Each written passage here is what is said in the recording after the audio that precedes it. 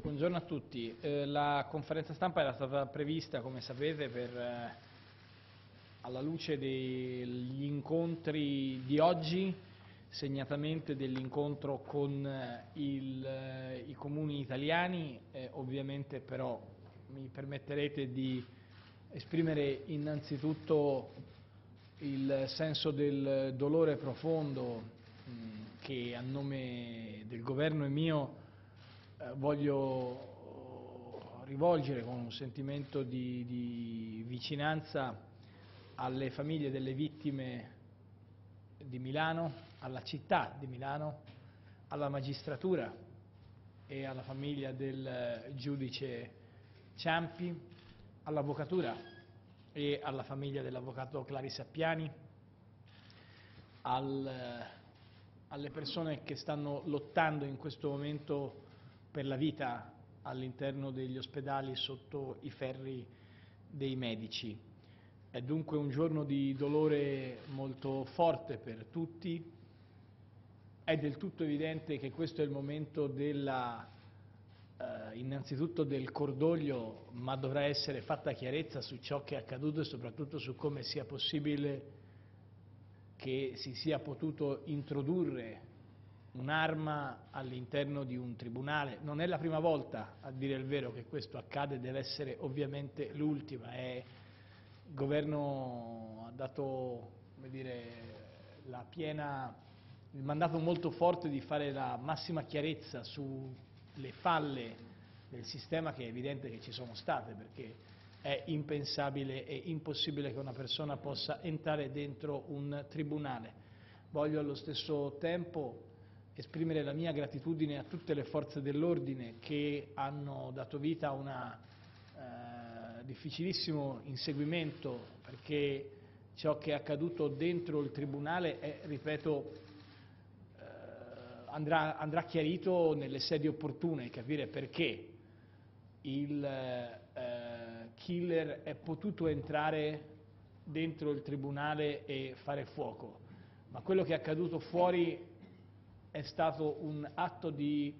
eh, grandissimo eroismo da parte delle forze dell'ordine, in particolar modo dei carabinieri che hanno bloccato a Vimercate, hanno riconosciuto il, il killer, lo hanno disarmato aveva ancora dei caricatori, quindi poteva essere eh, ulteriormente in grado di eh, fare del male. Tutto questo per dire che eh, la mia gratitudine che ho espresso al comandante generale del 7 e al team che ha disarmato il killer è una gratitudine che naturalmente fa il paio con il dolore profondo per ciò che è avvenuto e con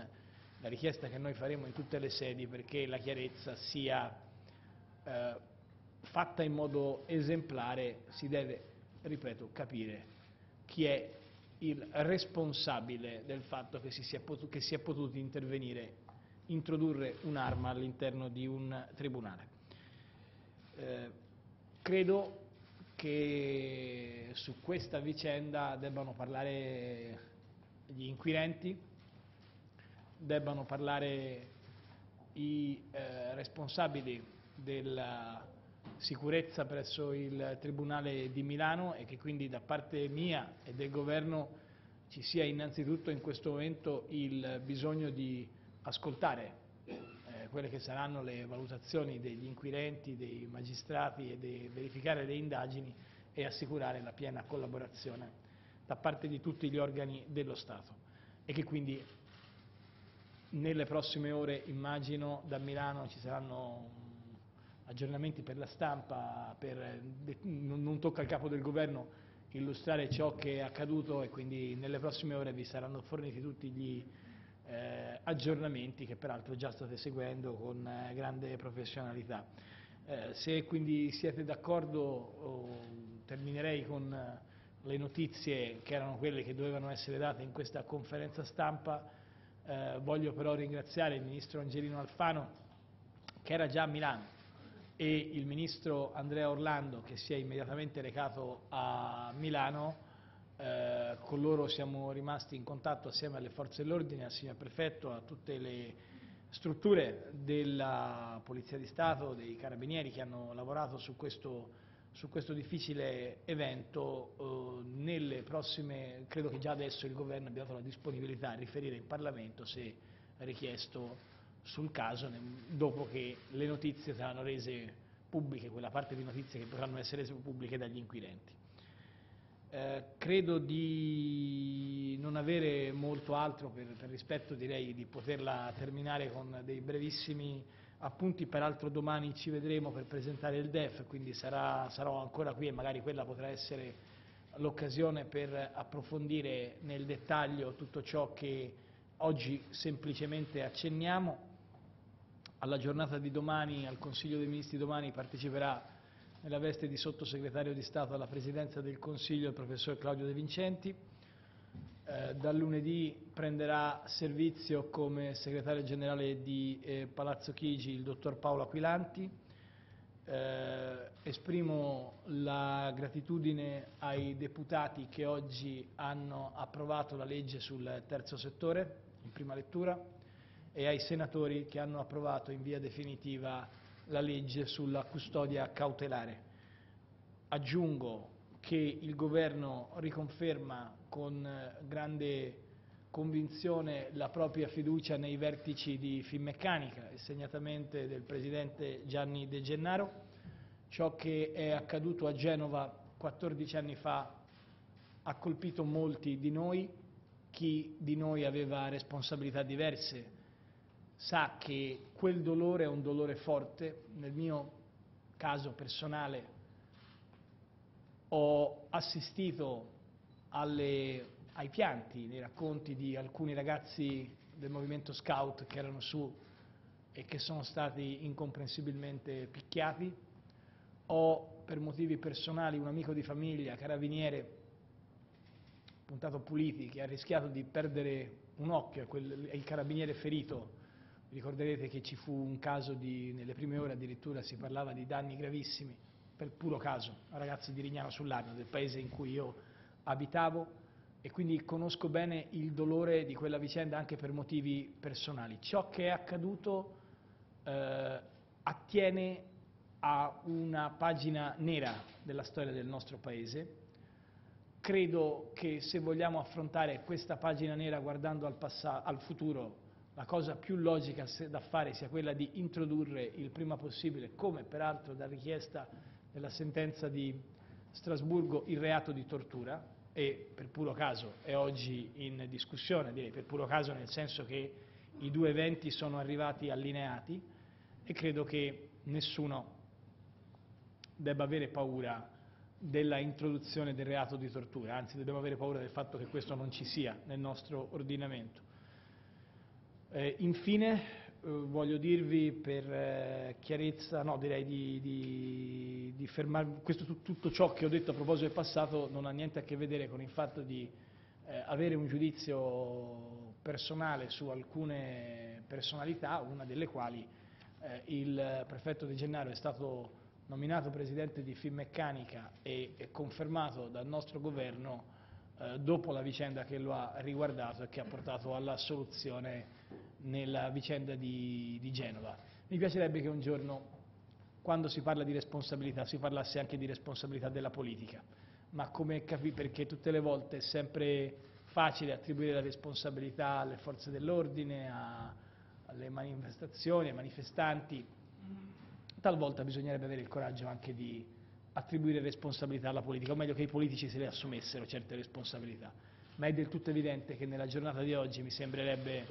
assurdo e inutile aprire una discussione su questo per rispetto che dobbiamo a Finmeccanica, ai suoi azionisti, alla, alle persone che credono in questa società, anche sui mercati, voglio dire che il Governo non ha alcun dubbio sulla qualità e la competenza del Presidente De Gennaro e lo eh, diciamo in modo molto chiaro. Mm sono, come capite, tanti i punti di discussione, li affronteremo nei prossimi giorni, anche verificando ciò che è accaduto diciamo nelle scorse ore permettendo di poter fare tutte le, le, le, verifiche del caso, io sto per partire per eh, una breve missione, torno stasera a Malta dove c'è un appuntamento importante legato a una delle eh, realtà di eccellenza italiane, se ci sono delle domande specifiche volentieri rispondo, altrimenti ci vediamo domani all'appuntamento dopo DEF. Prego.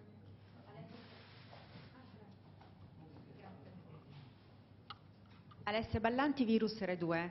Come pensate di difendere l'Expo, visto che si è dimostrato che non si riesce a difendere neanche un tribunale? Io trovo, lo dico anche perché questa è una frase che sta tornando in modo costante nei commenti di una parte politica, che ci sono dei momenti, diciamo, l'Ecclesiaste dice c'è un tempo per e un tempo per. C'è un tempo per eh, riflettere e un tempo per parlare, c'è un tempo per fare tutto quello che è accaduto oggi a Milano è, e lo ripeto, francamente incomprensibile e ci dovranno essere tutte le indagini del caso per verificare che cosa non ha funzionato nel sistema di protezione del Tribunale. Ma da qui a tentare di strumentalizzare gli eventi e soprattutto di inserire per l'ennesima volta l'Expo, che è un po' costantemente richiamato come un problema in tutte le circostanze, in tutti i passaggi, penso che ci sia molto tempo, ci sia molta strada. Eh, in altri termini, oggi al Tribunale di Milano è accaduta una cosa gravissima, è il momento del cordoglio ed è il momento in cui i magistrati possano fare le indagini, capire che cosa è accaduto di sbagliato e chi ha sbagliato nella mancata protezione del Tribunale. Da qui a immaginare che questo Paese sia in una sorta di stato di terrore penso che ce ne voglia. Vorrei ricordarvi che proprio quest'oggi la dimostrazione una volta di più della qualità delle nostre forze dell'ordine è arrivata da un intervento che era tutt'altro che facile, perché vi garantisco l'abbiamo seguito in diretta, tutti continuavano a dire che il killer era asserragliato dentro il tribunale. Avete seguito nelle ore come in realtà il killer non era in tribunale. I nostri uomini, le nostre donne delle forze dell'ordine non soltanto lo hanno trovato e riconosciuto e vi garantisco che non era una cosa semplice, ma lo hanno disarmato con un atto di, ripeto, eroismo puro da parte di donne e uomini che lavorano per servire il Paese. Allora, quando si parla di questo sappiamo che abbiamo delle forze dell'ordine che tutelano il Paese. Naturalmente è inaccettabile che chi doveva garantire che nel tribunale non si entrasse con l'arma non l'abbia fatto e quindi di conseguenza nelle prossime ore queste indagini verificheranno che cosa è accaduto e chi sono i responsabili di questo, ma vorrei invitarvi né da un lato a tentare di, di, di strumentalizzare ciò che è accaduto, perché ciò che è accaduto è gravissimo, non c'entra niente l'Expo. È una cosa gravissima che riguarda il Tribunale di Milano, come è accaduto in passato al Tribunale di Reggio Emilia, come è accaduto in altri tribunali. Il nostro impegno è perché non risucceda più e perché chi ha sbagliato paghi.